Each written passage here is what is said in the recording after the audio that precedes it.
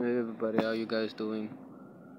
Uh, chilling poolside, contemplating life and all the shit that I've been through.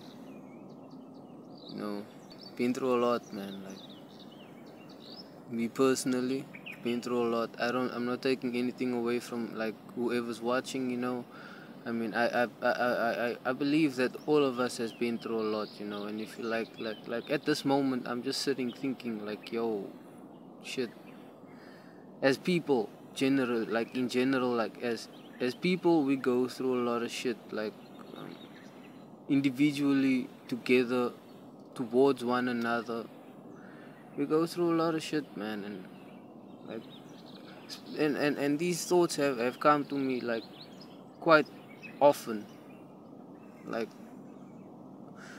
it only works if we help one another, we are kind to one another, we are good to one another. It only works that way because if we all are pissed off at each other and we take unrelated baggage out on one another that's like, you know, not related to the person who then shit doesn't go right.